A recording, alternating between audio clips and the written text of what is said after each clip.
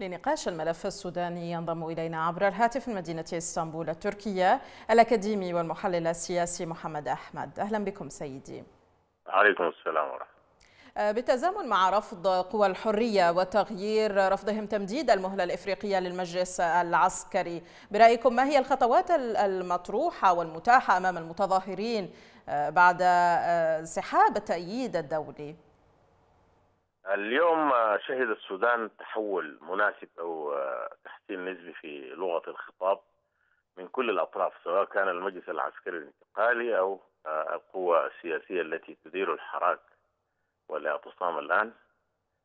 هنالك انتقال من مربع التعليق التفاوض والمواجهة مع اللجنة المجلس العسكري إلى مرحلة فتح الحوار وفتح المسارات والأخذ والعطاء مع المجلس العسكري لبغية الوصول إلى حل يرضي كل الأطراف ويتم الانتقال السلس من المجلس العسكري إلى سلطة مدنية.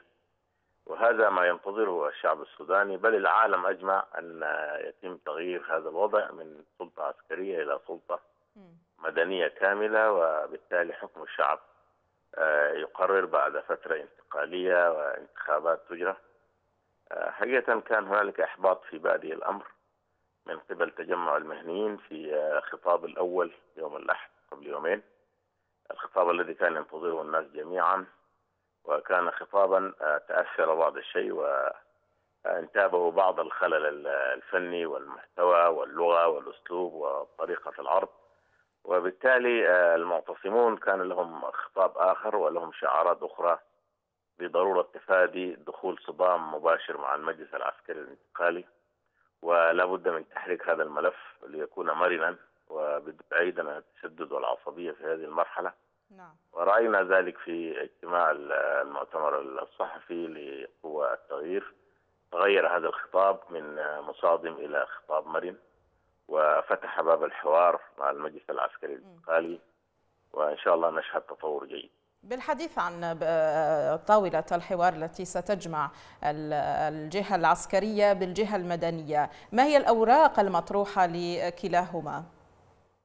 هذه الأوراق والتي صرح بها إعلان قوى التغيير هو الطعن في اللجنة السياسية التي كونها المجلس العسكري الانتقالي هذه اللجنة كانت مهتمة بالاتصال بالقوى السياسية وبإدارة ملف الحوار مع كل الأحزاب الوطنية وبلورت رؤى, موحدة لتقديمها للمجلس العسكري الانتقالي حتى يتخذ القرار ولكن قوى التغيير ترى هذه اللجنة غير محايدة اللجنة تتبع للنظام السابق.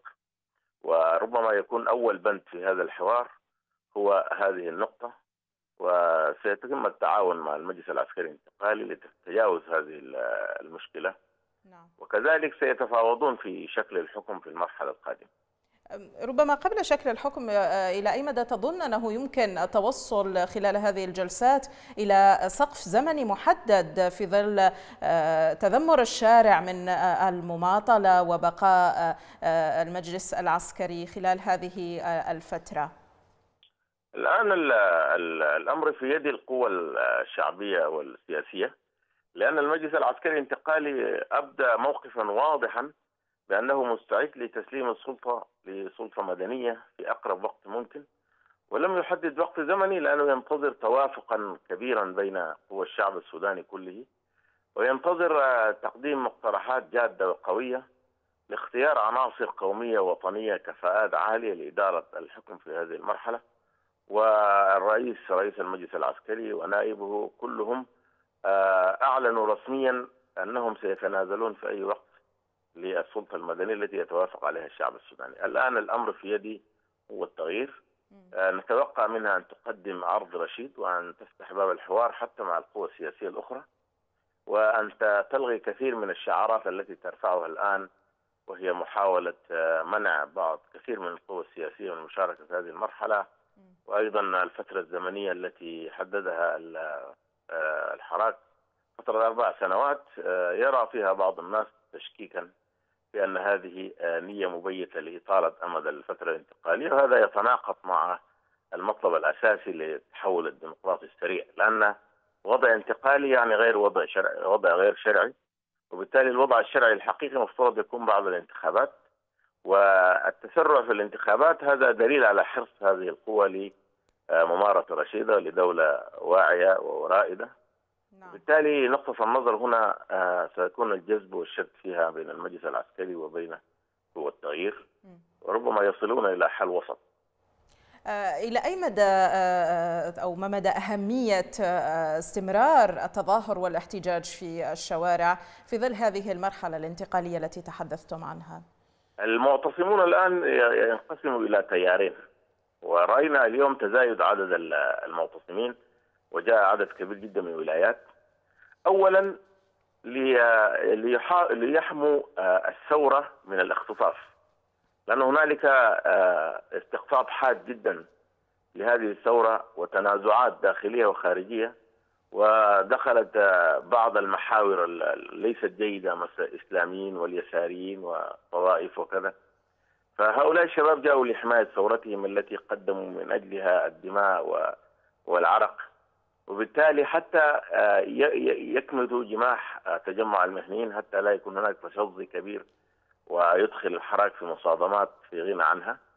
وحتى يحاولوا ضبط الخطاب السياسي ويوحدوا هذا الخطاب. فبالتالي استمرار الاعتصام لضمان انتقال سلمي أو انتقال سلس من عسكري نعم. إلى مدني ولضمان وضع قواعد آه، لحكم رشيد. لا يكون فيه تنازع أو لا يكون فيه صراع بين الأحزاب وليضمن أيضا عدم دخول الأحزاب في هذه الحكومة. يعني كل الشعب السوداني حريص أن لا يشترك أي حزب في الحكومة القادمة. تكون حكومة ديمقراط آه، مستقلة قومية وطنية ليس لها انتماء. لأن التدخل الحزبي في هذه المرحلة يفسد الأجواء كثيرا ويعيق كثير من الأعمال. الأكاديمي والمحلل السياسي محمد أحمد كنت معنا عبر الهاتف من مدينة إسطنبول التركية. شكرا جزيلا لك.